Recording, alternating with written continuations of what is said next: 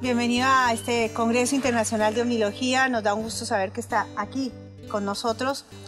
Y en principio nos encantaría, ya que el evento y su invitación va en ese marco, homenaje a Jorge Suárez, tributo a la amistad. Un recuerdo, palabras, anécdotas, ¿qué nos puede decir de Jorge Suárez? Y bueno, para mí ha sido un puntal ese hombre, no solo aquí, sino también en el norte. ¿Por qué le digo el norte? Porque la, radio que él emitía de acá, él me llamaba a las 12 de la noche y hablamos hasta la una, una y media, a veces hasta las dos de la mañana, dialogando, obviamente. El problema de la materia, de la energía, del cómo, de la vida, si hay vida, si esta vida igual, similar, distinta. O sea, todas las inquietudes que él tenía. Y, realmente eh, yo pienso que ser un caso único. Por lo menos en la provincia de Córdoba no creo que haya otro igual. Ni en Córdoba ni, ni en el país, porque los otros son difusores que ya ya prácticamente las economías no, resultan y ya no, difunden. Eh, por lo menos él ha sido un, difusor a rajatabla, o sea, de todos los días, y con su radio y lo que ha hecho, ya están ustedes en, un 17 congreso, que no es poca cosa. Y, él hace tres años ya que falta, desgraciadamente, desgraciadamente, de acuerdo a lo que me comentaban, ha sido una muerte que injusta, podríamos decir, podría haber estado más. Y bueno, hubiera sido bueno que hubiera estado porque él eh, de una gran energía, pero la energía de él les ha transmitido a ustedes. Es evidente que le, por eso van, por lo menos pueden estructurar y, elaborar y, realizar eh, un congreso de esta temática que no es común. es común nada más de esa de gente que viene de otros lados, de gente que le habla el inglés, que no habla el castellano, tienen que andar buscando traductores, este, y bueno, y que vienen a, referir cosas que parece a algunos a veces nos parece ciencia ficción, y no es ciencia ficción, porque algo de realidad hay. Cuando el río suena, agua lleva. Agua lleva. Doctor Miotti, en, ese marco del, de, de, lo que usted dice de la tarea que Jorge hizo, que para usted fue muy importante, ¿le parece urgente que se hagan eventos, congresos Em, que se hagan este tipo de reuniones, aún hoy cuando las redes sociales y la informática está tan presta a cualquier persona? Sí, yo pienso que sí, las redes sociales está y no está, porque la pantalla es así, está, la borró la pantalla, la sacó de la pantalla y desapareció, o sea, es muy fugaz.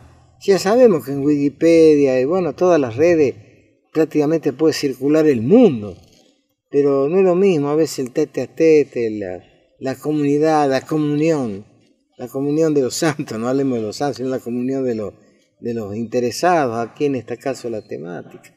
No es lo mismo, pienso que no es lo mismo. Muchas gracias, doctor. Doctor, ¿en cuántos eventos ha participado y qué puede rescatar usted de los eventos que ha participado? Y yo a participar en forma directa, este, este es el que el primero que hago. Ahora con, les vuelvo a repetir, con Jorge Suárez tenía mucho contacto, porque él me contactaba, él me llamaba. Yo no llamaba aquí, él me llamaba a mi teléfono particular, entraba en, no sé cómo le llaman ustedes que manejan la, las comunicaciones, y bueno, y, me, y hablábamos, dialogamos una, dos horas, sin ningún problema, con total libertad, nunca con una, ¿cómo puedo decir? Nunca fue un hombre inclinado hacia, hacia algo sino que era un hombre, un hombre libre, una, una mente libre. Doctor, vamos a este 17 Congreso, su participación en el homenaje a Jorge con una conferencia. Cuéntenos un poquito de qué se va a tratar y por qué ubica este tema en este Congreso. Bueno, eh, yo primero, primero, primeramente vamos a hablar en base a Morin, un autor francés que habla del pensamiento complejo. Realmente no harían falta mucho hablar ni, ni traspasar lo que dice el texto, leerlo para que la gente entienda. Ya la, prácticamente la humanidad está en una situación compleja.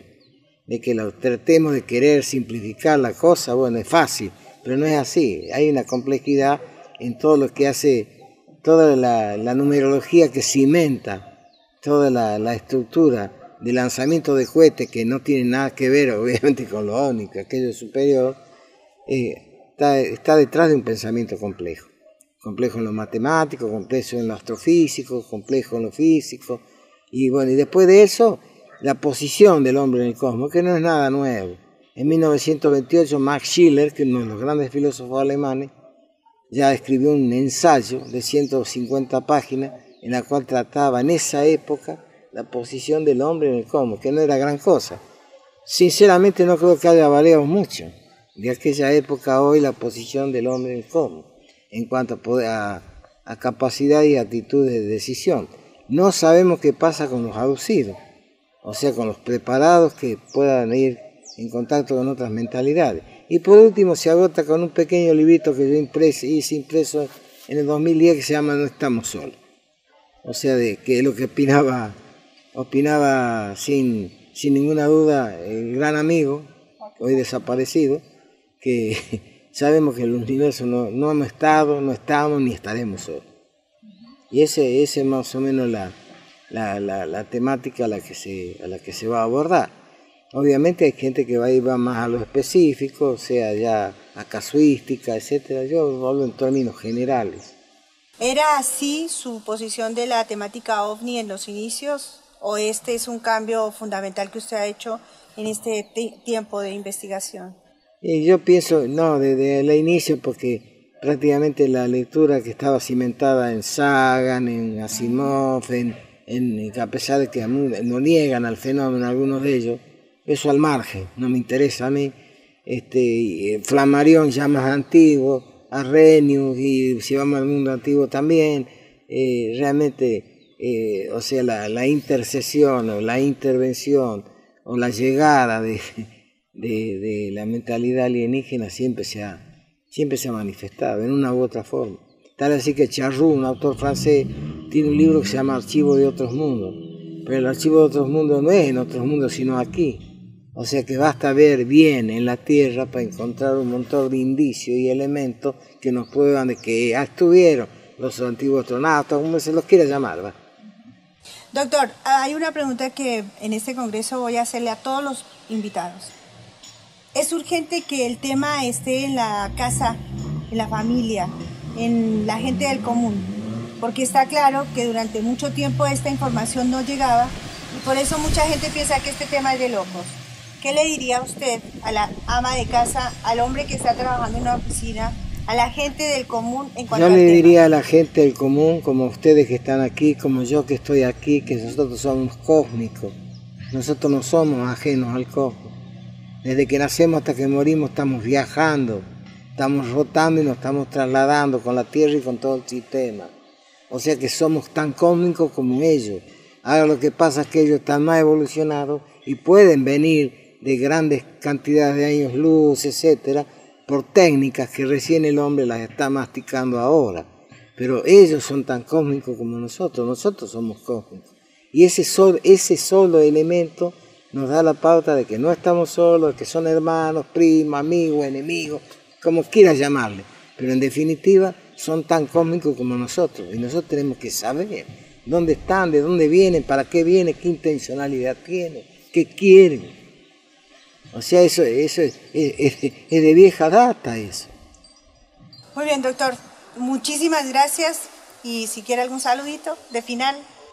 Y bueno, realmente el, saludo es para toda una, alegría de que ustedes hagan esto, que lo hacen en memoria de, de, que está arriba, en algún lado está, porque también ese, esa otra cuestión que habría que hablar del universo donde están los espíritus y las almas, que sería larga, largo el comentar, pero debe estar por ahí también él, viendo las cosas de, de, de lejos.